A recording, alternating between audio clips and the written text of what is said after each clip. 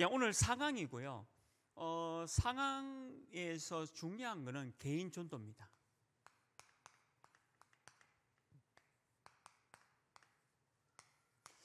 어, 제가 이제 우리 훈련을 시키다 보니까 실제로 복음 받을 사람인데 구원의 길을 못하는 그 사역자가 많더라고요. 그러니까 어떤 내용이냐면, 어, 복음은 알고는 있는데 이것을 어떻게 설명해야 될지 잘 모르는 그런 분들이 많더라고요. 그래서 어, 서론에 우리가 좀 준비돼야 될 게 있습니다. 물론 오늘 교재 내용도 나오지만 아, 누구를 만나든지 이 구원의 길을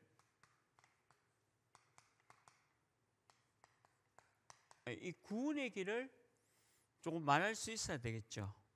그래서 우리가 어, 12가지 인생 문제에 대한 부분도 있고요. 그다음에 어, 자료를 준비하는 것도 참 좋아요. 물론 어, 그이 자료를 읽어서 이분이 진짜 예수님을 영접하고 하나님의 자녀 되는 그런 것도 있겠지만 또 그렇지 않다 할지라도 어, 자료를 통해서 이분이 좀 깊이 있게 예수님에 대한 부분에 대한 걸 생각할 수 있다면 그게 굉장히 좋은 거죠.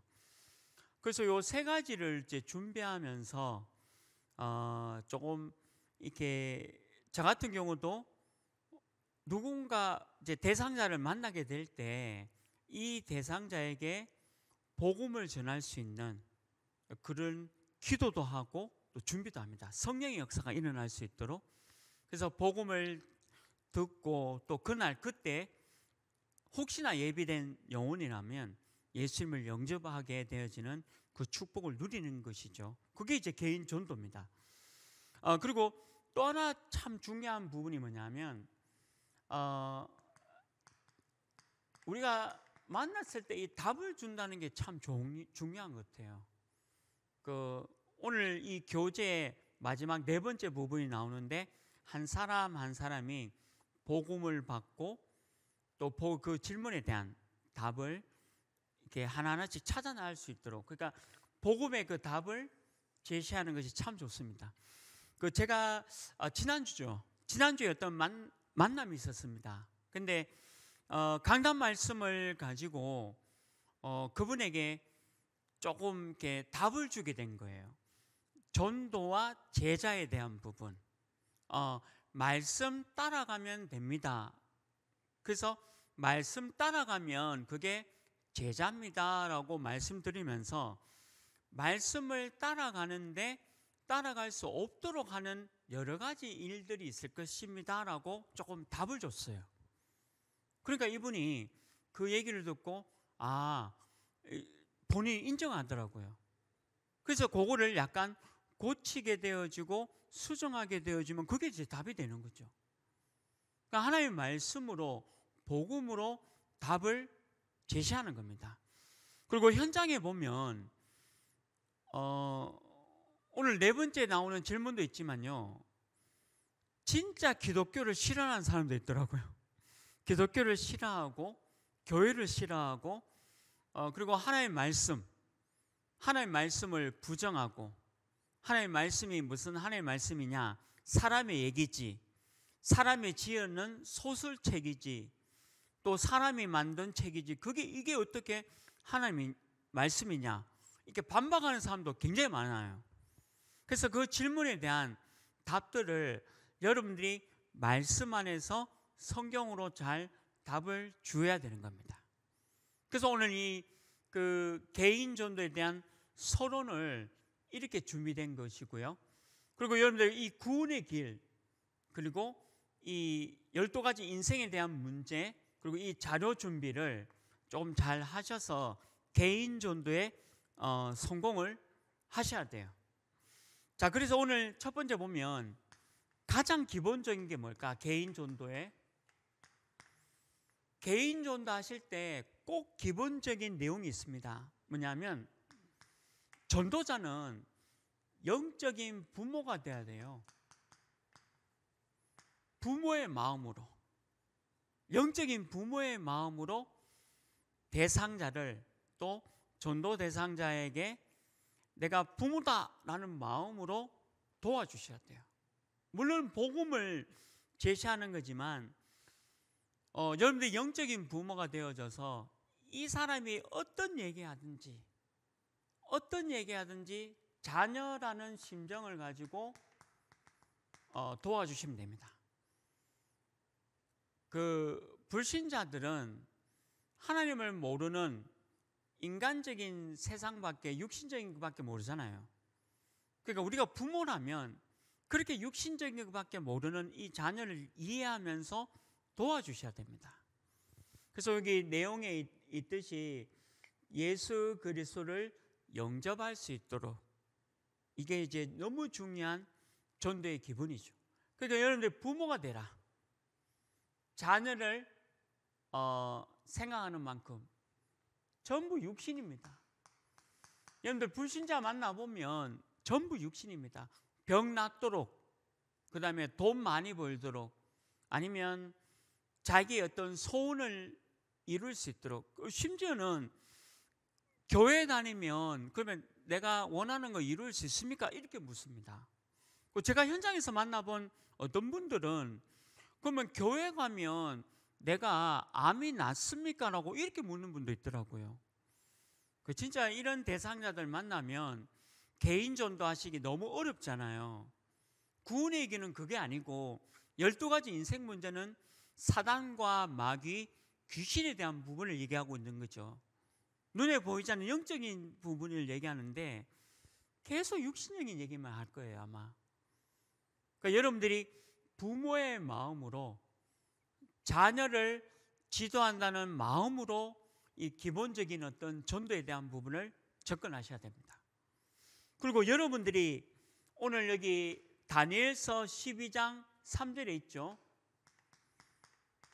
이 전도자는요, 많은 사람을 돌아오게 하는 자는 별과 같이 빛나게 될 거다라고 기록이 되어 있습니다. 이게 여러분들의 상급이죠. 그래서 우리가 전도는요, 하늘에 별이 빛나는 것처럼 하나님이 다니엘서 12장 3절 말씀에 여러분들이 그 전도하는 그 모든 것들이 별처럼 빛날 것이다. 이게 얼마나 우리에게 주신 이 전도의 축복입니까? 그러니까 그 전도의 축복을 절대 잊지 말라는 거죠. 이 약속이 전도하는 개인 전도하는 자에게 주어져 있다는 겁니다. 자, 그러면 기본적인 부분이 그렇고요. 그 다음에 두 번째는요. 이제 전도를 실행해야 되겠죠. 구체적으로 내가 구원의 길을 알려주는다. 아니면 12가지 인생 문제에 대해서 알려주는 것이고 아니면 어, 내가 복음을 전하지 못하더라도 이 자료를 준비해서 이 대상자에게 전달하는 거죠. 실행입니다. 그래서 그 실행의 첫 번째가 뭡니까? 우리는 전도 대상자를 두고 기도해야 됩니다. 이유가 뭐냐면 성령이 역사하도록 성령이 역사하고 대상자가 복음을 잘 들을 수 있도록 반드시 대상자를 두고 기도하시고 가셔야 돼요.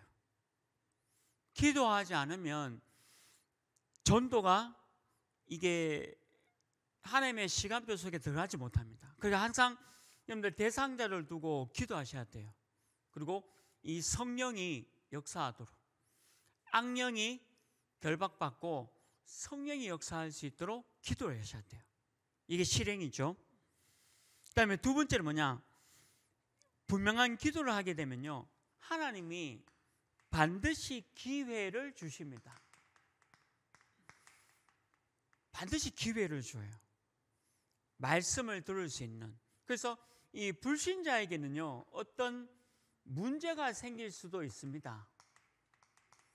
어, 잘 살다가 갑자기 영적 문제가 오기도 하고 정신과 마음의 문제가 오기도 하고 또 육신적인 어떤 문제가 오기도 하고 또 어떤 면에서는 어, 자기 자신뿐만 아니라 뭐 가족에게도 문제가 돼요.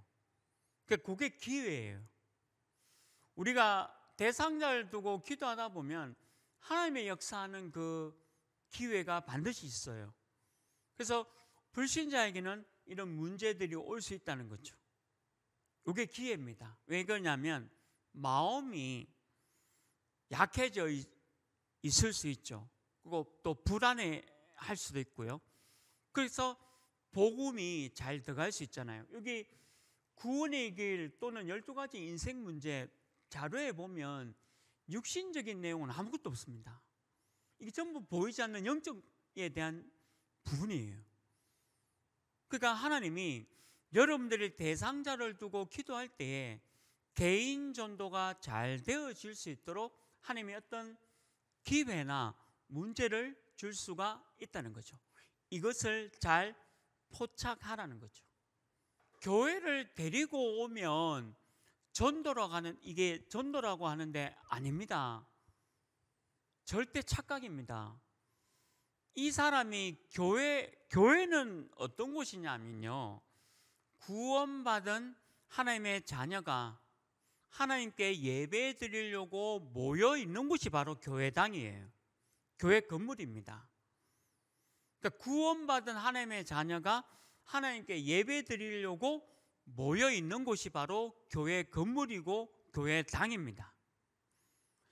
어, 그러면 하나님의 자녀가 아닌 사람은 올 수가 없는 거죠.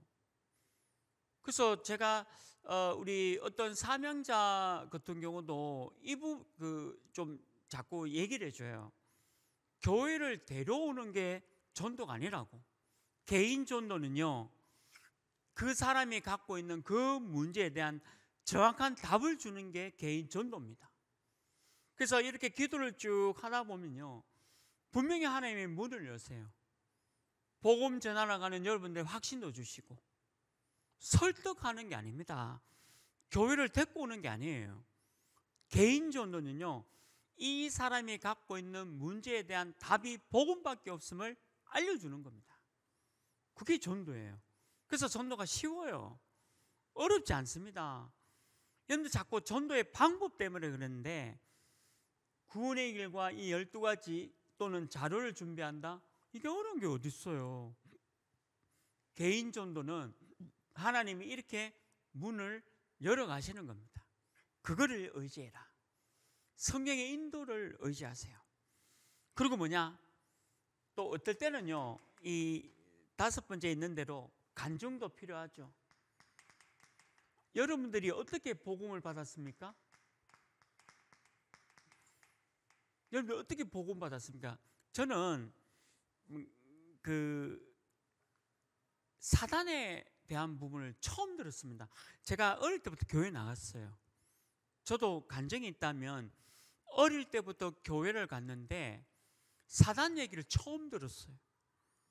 제가 스물 살때 유광수 목사님 집회를 통해서 사단의 얘기를 처음 듣고 충격받고 그리스도의 삼중직에 대해서 우리 아마 우리 시대가 그때 그런 얘기를 많이 들었잖아요. 그때 말씀 들으면서 아 이런 게 있구나. 그래서 그때 진짜 제가 예수님을 영접하고 하나님의 자녀가 되었습니다. 그 영적 문제, 사단 문제, 하나님을 떠난 문제. 근데 지금도 이 얘기를 듣고 복음 받을 사람이 있어요. 그래서 이런 간정도 준비하시고 그다음에 여섯 번째 뭡니까? 이때 입으로 시인하고 마음으로 영접되어진 이게 영접이죠. 이게 영접입니다. 이분이 우리의 복음을 듣고 알게 되어지는 그 시간표예요. 요거는 하나님의 시간표가 있다 했습니다. 오늘 영접할 수 있겠죠? 근데 오늘 영접이 안 돼도 돼요. 우리 전도자들은 개인 전도하면서 복음을 선포하고 복음을 알려준 것만 해도요, 굉장한 겁니다. 이게 개인 전도예요. 그런데 이 개인 전도가 많이 쌓이다 보면요, 이제 복음 전하면서 하나님이 많은 또 만남도 주실 것이고 또 여러분들 개인 전도하면서 정확한 복음을 알려주는 일에 쓰임 받고 있는 것이 다니엘서 12장 3절입니다. 별처럼 물론 이거 상급을 위해서 가는 건 아니에요. 우리가 장사꾼이 아니잖아요. 우리는 복음을 알려주는 거지 무슨 한 명 한 명의 장사꾼처럼 하면 안 되죠.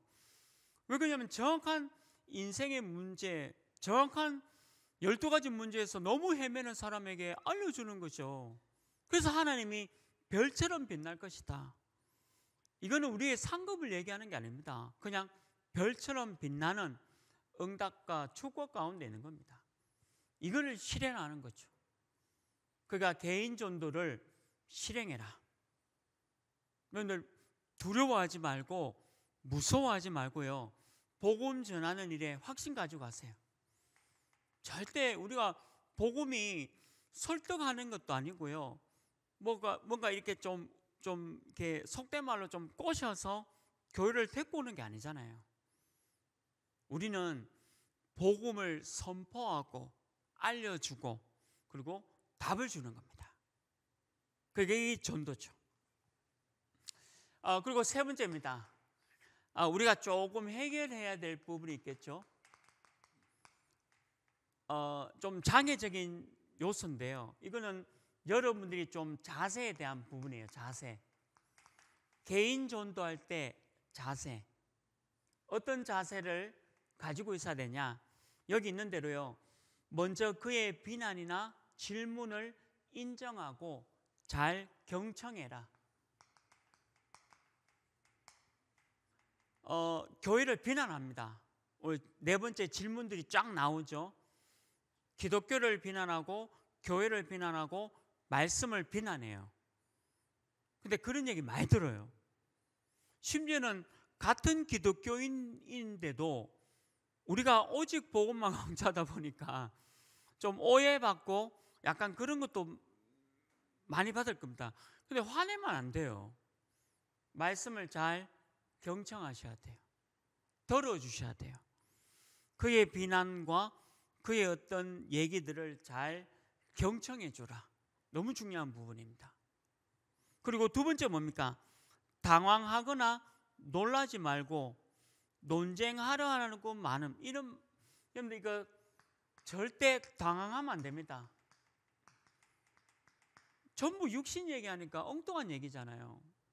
당황하지 말고 놀라지 말라 했습니다. 놀라지 말라 했고요. 그리고 여기 논쟁도 하지 마세요. 논쟁. 논쟁을 하게 되면 싸우게 됩니다.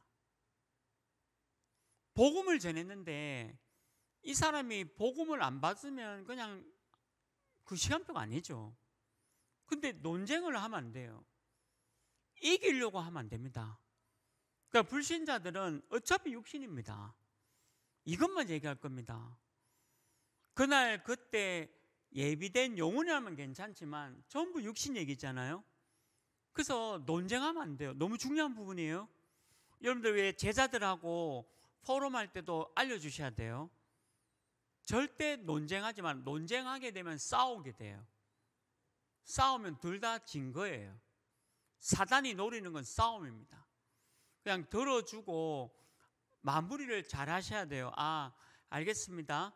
어, 교회가 좀 더 이렇게 되도록 노력하겠습니다. 또 제가 어, 좀 부족한 점이 있다면 이렇게 제가 잘 준비해서 그렇게 하겠습니다라고 마쳐야 합니다.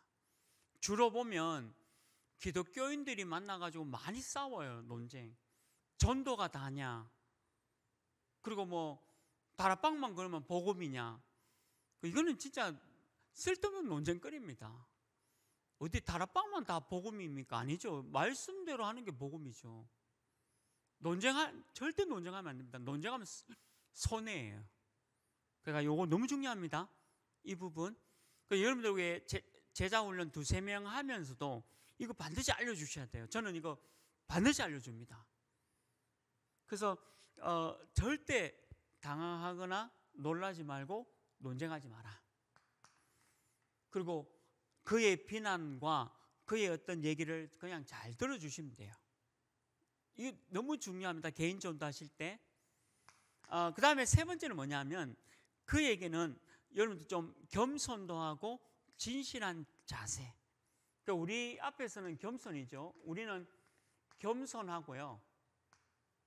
진실되게 이렇게 자세를 꾸미면 됩니다.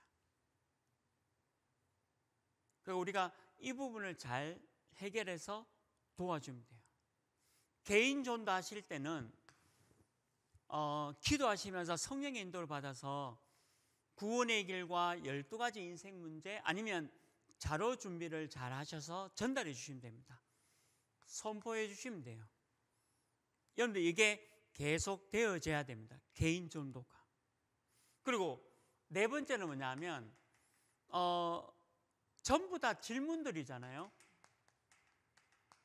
그래서 여러분들이 이 질문에 대해서 답을 잘 해주시면 됩니다. 질문들이 많이 나올 거예요. 근데 결국엔 복음입니다. 복음이 답이에요. 개인 전도 하실 때 이렇게 알려주시면 됩니다. 어, 저도 만남을 통해서 개인 전도가 많이 되어집니다. 뭐 지난주도 그렇고 어, 그런데 제가 개인 전도할 때는 다른 거 안 합니다. 그냥 구원의 길, 12가지 인생 문제가 참 어렵고 또 어떨 때는 자료도 전달하고 그냥 마칠 때도 있어요. 그래서 이게 그분에게 정확한 답이 되어지도록. 그리고 여러분들 그 제자들에게 오늘 주의사항이 있죠. 이 부분을 잘 알려주셔서 어, 모든 현장에서 개인이 잘 전도가 되어지도록 도와주시면 될 것 같습니다. 그래서 오늘 사과 내용은 개인 전도였습니다.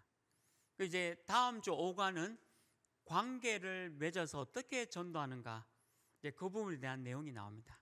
그래서 여러분들 오늘 이 개인 전도가 성공되어져서 중요한 현장을 살려 나가시기를 주님의 이름으로 축원합니다. 하나님 감사합니다. 한 사람을 만나서 개인 전도할 수 있는 귀한 응답과 축복을 누리도록 인도하여 주옵소서. 예수 그리스도의 이름으로 기도합니다. 아멘.